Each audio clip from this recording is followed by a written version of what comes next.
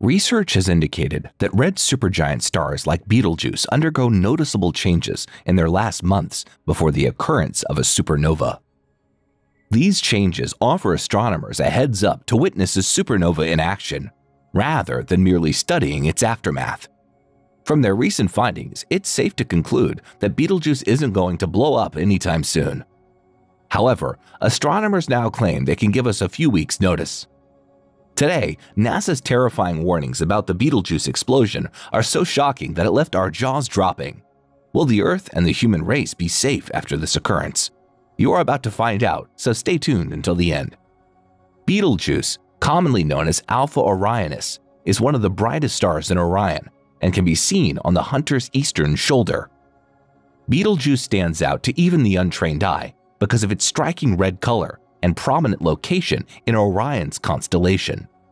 Nearly 7.5 light-years in diameter characterize the biggest of these spheres. An estimate puts the star's distance at 548 light-years. Red supergiant star Betelgeuse has a diameter of around 764 times that of the Sun.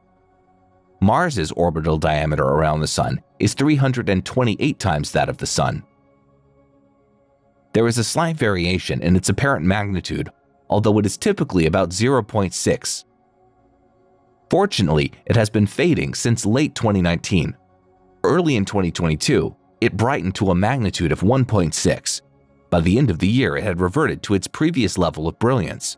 It has been determined from infrared satellite observations that Betelgeuse is encircled by enormous shells of material that were apparently shed by the star during periods of mass loss during the last 100,000 years.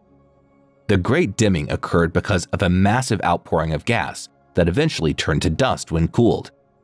Astrophysicist Benjamin Davies and his colleagues at Liverpool John Moores University believe that a supernova is likely to occur if a red supergiant star roughly 10 to 40 times more massive than our Sun, suddenly dims and becomes a deeper red. The team used images of the aftermath of hundreds of red supergiant supernovae in surrounding galaxies to recreate the mechanisms that create pre-mortem dimmings. It follows from their findings that the star's visible brightness should decrease by a factor of 100 in the weeks or months before a supernova. They discovered that in its last months, the star envelops itself in a thick cocoon of gas mostly hydrogen, mixed with other elements, which causes its light to fade and become red.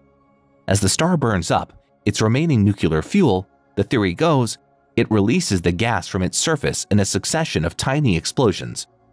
Let's put it this way, red supergiant stars begin to balloon and develop expanding envelopes of gas and dust when their nuclear fuel runs towards the conclusion of their lifetimes. Moreover, the expansion of this envelope correlates with a greater degree of luminosity for the star. However, there are other reasons a star like Betelgeuse may dull and brighten.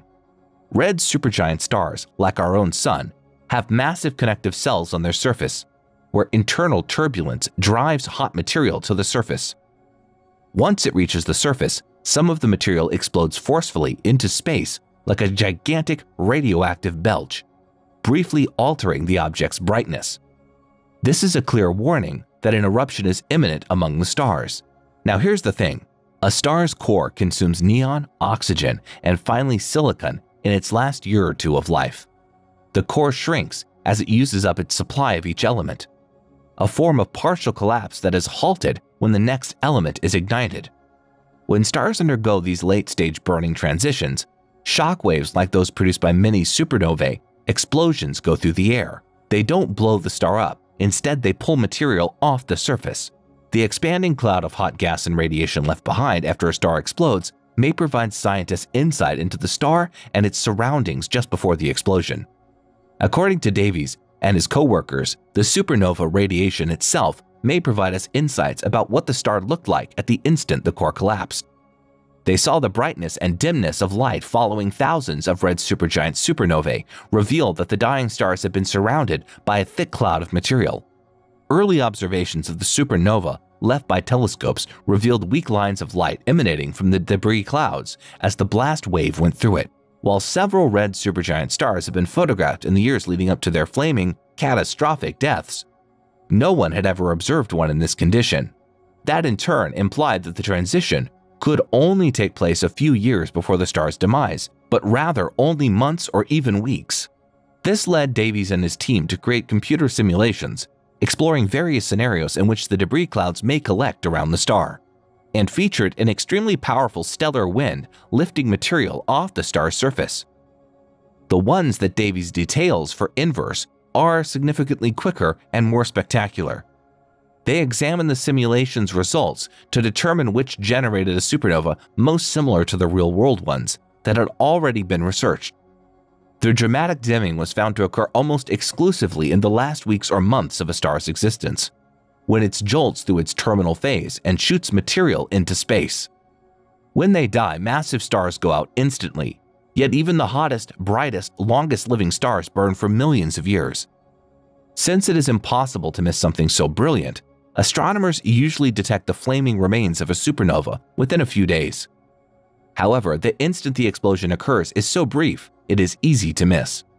However, suppose astronomers know the indicators of an approaching supernova.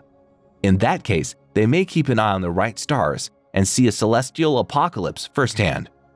Although Betelgeuse is not expected to go supernova anytime soon, despite its unusual behavior during the last several years, Betelgeuse isn't ejecting material on the scale that we observe for stars in the final year of their existence, adds Davies.